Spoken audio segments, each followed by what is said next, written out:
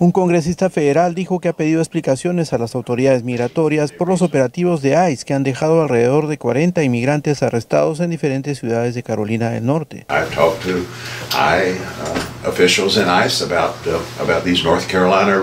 He hablado con los oficiales de ICE sobre estas redadas en Carolina del Norte y les he preguntado qué está pasando aquí, cuál es la racionalidad de estas redadas. El representante demócrata David Price se reunió con la esposa de uno de los detenidos la semana pasada en la ciudad de Hillsborough y con miembros del centro hispano que están brindando asistencia a 12 familias afectadas por los operativos de ICE. Lo amarraron, como si fuera un asesino y mi esposo realmente no es un asesino, él es un pastor, él predica.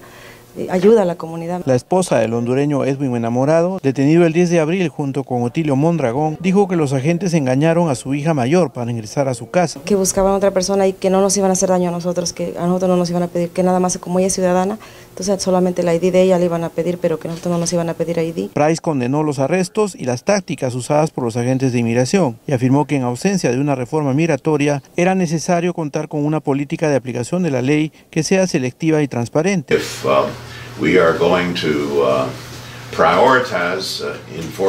Si vamos a priorizar la aplicación de la ley, la detención y la deportación, esto tiene que enfocarse en gente que es una amenaza para la comunidad, que está cometiendo crímenes serios. Y pienso que la mayoría está de acuerdo con eso. Autoridades locales como la alcaldesa de Carborough, Lidia Label, así como concejales y comisionados del condado Orange, también rechazaron la actividad de ICE en el área y dieron su respaldo a las familias afectadas. Miembros del Centro Hispano dijeron que además de apoyar a las familias afectadas, han iniciado una campaña para informar a la comunidad inmigrante sobre sus derechos y cómo actuar ante los agentes de inmigración. Ya creamos unas tarjetas que vamos a estar dando que, que tienen ah, sus derechos en un lado en inglés y en español y que le pueden dar a los oficiales si por cualquier motivo tienen que confrontarse con uno de ellos.